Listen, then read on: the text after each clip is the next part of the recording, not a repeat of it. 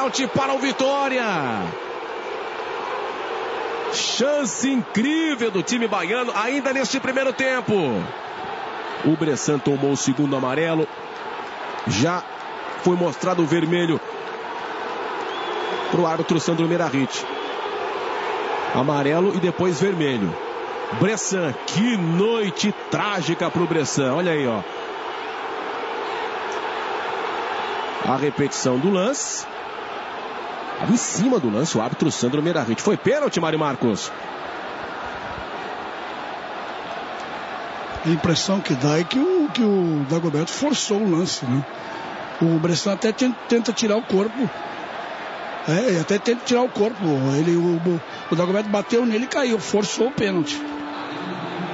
Mais uma vez, de todos os ângulos, está tentando encontrar o pênalti ali que o Sandro Merahit estava